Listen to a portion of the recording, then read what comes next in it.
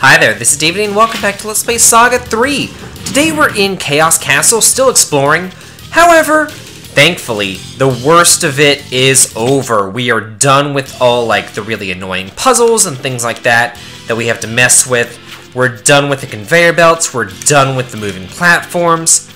We're just kind of nicely going through this pretty tower, you know? It's pretty nice. The only thing we really have to deal with now are a bit stronger monsters, but for the most part you can... I was gonna say you can avoid them, but there they are. Let's see who we got here. Ooh, okay. So, uh, same guys that we've dealt with before. Uh, yeah, just keep going with whatever you're doing, you're fine. I'm not too worried about these guys.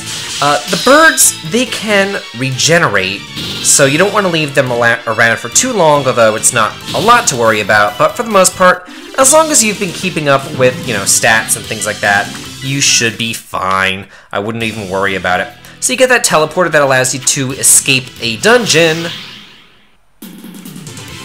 just by using it, kind of like an exit spell. We bought a couple of those back in town. Okay, we got lots of new stuff here. The, uh, okay, let's just, let's just go all out, then I'll talk about these guys. Um, the Megarias have 183 HP, they're weak to fire. The uh, Durandals have 202 HP, they're not really weak to anything. Uh, those Killer Butterflies are weak to fire, and they have 161 HP. Ooh, I sparked Thundaga, finally! It's about freaking time, I've only been using this since the very beginning of the game. So, yeah. But honestly, it doesn't really matter what you use against these guys, because they're just trash mobs. You know, use whatever you want just to, you know, gain it up. Um, if you want to work on, you know, your recovery spells, or if you want to work on agility for your espers, go ahead and do that. Um, don't worry about what they're weak against, because it really doesn't matter all that much. Um, I just have my little Bestiary open and up just to inform y'all um, if you really care, even though you could probably kill him with, you know, anything that you want. It really doesn't matter. Ugh. Chain encounter, lovely. Yeah, my days of avoiding encounters are over. Sucks. Oh, a werecat. Huh, he's not on my list. Who knew? Oh well. So, here's a werecat! Yeah, there he is. Um, we'll take care of him easy enough, though. Uh, those Durandals, though, they do resist weapon attacks, like sword attacks and things like that. Um, not as much as, like, the stones do, but, eh, they're there. Oh, what do we got here? Some more new monsters here. Yeah, that, like, beetle, purple beetle-looking thing. Oh, well, we're not gonna figure out what that was. you know, they they uh, come, but you can't tell what they are until you actually target them. There's no way to, to know what they are unless you memorize uh, their portraits, and I'm not memorizing portraits anytime soon. So, yeah, so sue me. Okay, wow.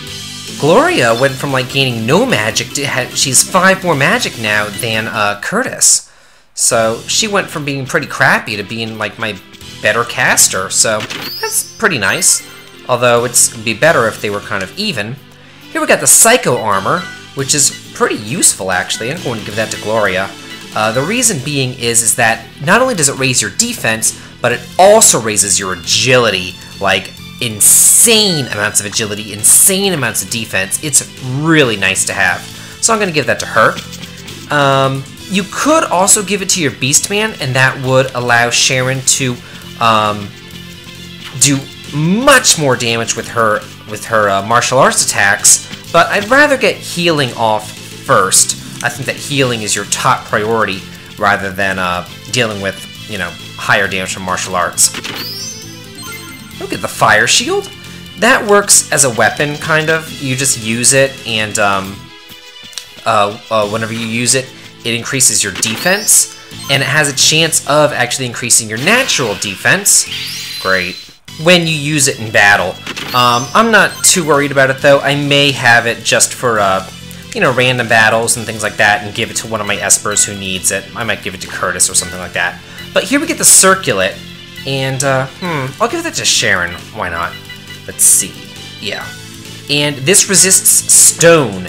And Chaos, who's the boss at the top of the Chaos Castle, surprise, surprise, he can inflict stone. So, it would be nice to be able to uh, protect against that. Is that you, Ashura? Sorry, but we beat that creep. And who are you? We're here for the future warp. Hand it over. And if I refuse? They always refuse. Then we'll take it by force. Beating Asher only sealed your doom. I'll finish what he started. Yikes! Yeah, he had my, my, my world famous and who are you? It's actually my mother's world famous thing. She says that all the time whenever anybody like comes over that she's that that uh, she doesn't know who they are. She's like, "And who are you?" And she says it like so snottily. it cracks me up every time I hear it. I don't know. So anyway, uh, we're gonna go against Chaos himself with 3,000 HP. Um, he also has some rocks there who are weak to water, so I want to go ahead and get them out of the way by uh, using water attacks and also that water sword. He's vulnerable to wind, however, wind doesn't do that much damage, but eh, he's vulnerable towards it, so eh, might as well use it. Holy crap! She needs to, she needs a heal like stat.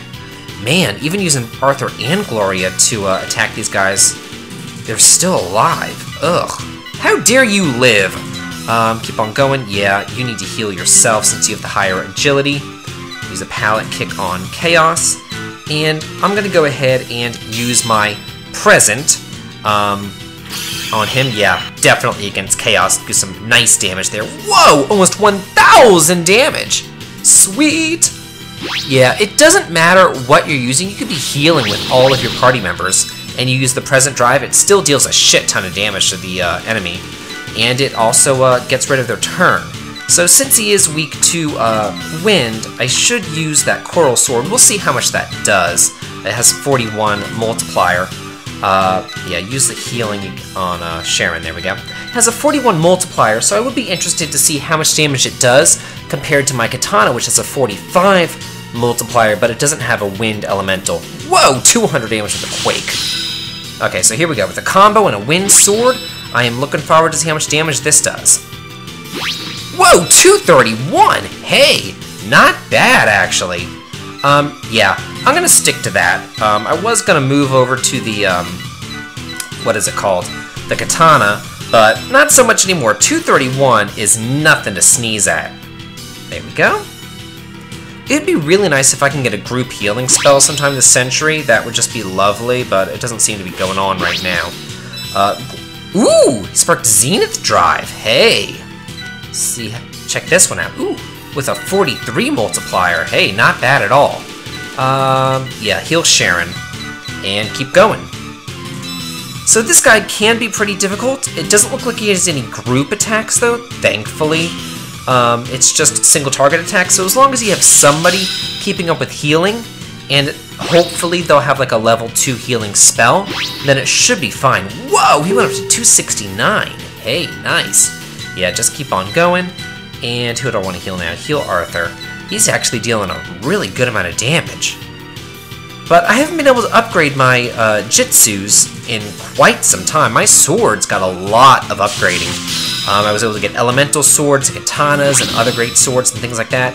But with the Jitsus, all I had was punch and kick. So I'm really kind of lagging behind on that. Oh, finally, Curtis got some magic. That's nice.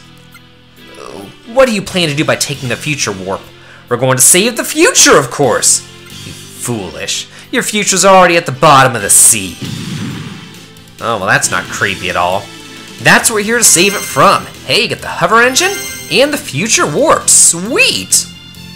Great. We found the future warp. Let's go have Cronus check it out. Hello. You've returned safely, Arthur. Oh, that's right. Allow me to introduce them, Grandma. These children are... I already know. We met 15 years ago.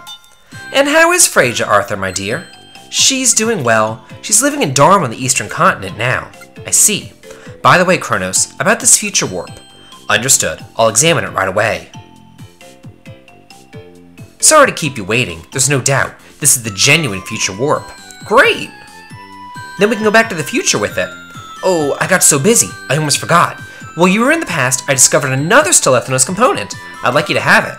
Oh, great! Get the time stop device. Sweet! So, do you intend to leave for the future right away? We do. That was the whole point of our journey. In that case, I'd like to see you off. it'll be the final confirmation of my studies. We'll go ahead of you to the shrine. Okay, great. Uh, that time stop device you can use, um, well, I don't think that you can use it quite yet because it's not letting me use it, but basically, um, before the tutorial, you can use it to kind of stop time and when you're like running from monsters and stuff, and um, you can avoid battles and things like that, so it's pretty handy. But anyway, next time on Let's Play Saga 3, we'll be heading back to the future. This has been David. If you like this, please like, comment, and subscribe, and happy watching!